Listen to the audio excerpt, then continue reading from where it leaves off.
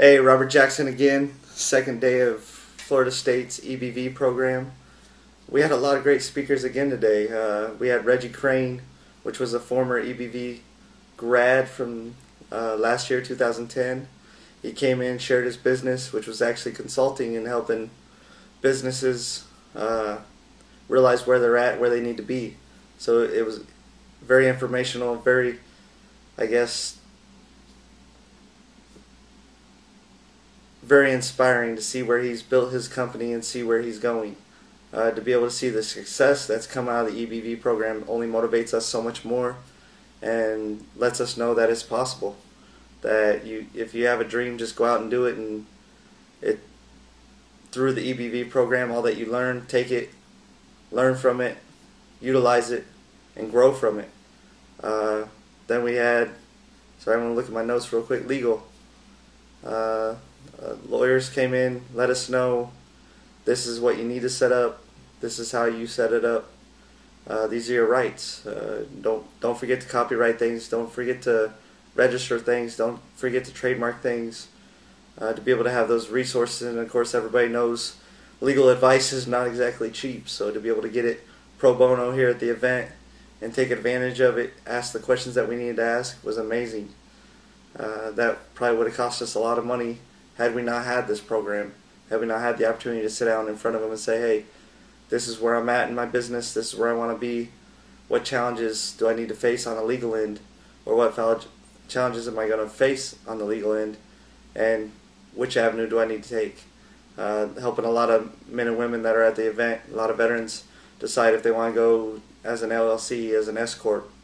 Uh, deciding between the two is it, it's a huge difference. So to be able to to get that advice for free is huge. Uh, then we had Jack uh, Beecher come in, which covers the government contracting side of the Army Corps of Engineers, covering all the government contracting that you could get into, whether it be construction, uh, supply, anything, anything that they subcontract out or contract out from the government side. Uh, just letting us know what programs are available, letting us know how to get into the programs, what certifications we need to get into. It is huge to find out the information that you need up front.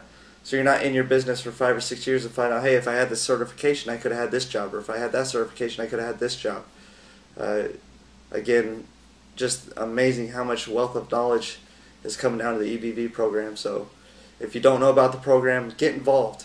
Uh, whether you're just finding out about the program, find out more. Find out how you get involved. There's a lot of volunteers uh, on the student side. There's a lot of donations coming in. There's a lot of great things happening. And empowering our veterans to go out and start their own business is, I guess, empowering America to get better, to improve to where we're at right now. With the economic downturn, we can use all the businesses that we get. And like I said yesterday, with the veteran success rate of two times the general public, it's it's a natural to invest in the program and find out about the program, whether you're investing financially, whether you're finding out and learning and volunteering. All the support that you give Dr. Blass and the great team here at EVB is huge. Uh, on from Jack, we had uh, Jim Deaver again go on. Dr. Deaver, uh, who I mentioned yesterday, was 41 years old, sold all his businesses, didn't know what to do uh, I guess it was 50, around 50 years old, I think he said today, that he actually started going back to school because his wife kind of challenged him and said, hey, you've done everything but go back to school. Uh, so he ended up getting his doctorate and coming back to inspire us and motivate us so much more. Uh, great guy, probably the best instructor I've ever heard. Down to earth, uh, adds a little humor to his to his uh, instruction, so it, it, makes it easier for us veterans that are sitting here through these long days, and they are long days. Uh, starting it again at 6:30, finishing again 10, 10:30. Uh, so, if you're a veteran wanting to look into EBV, take it serious. It's it's crucial and it's it's grueling, but they challenge us to better ourselves, and that that's the best challenge we can have is to, to make a new life for ourselves. Uh, if you have families, to make a new life for our families. So, uh, give back all you can through your program and keep doing it. Believe you can.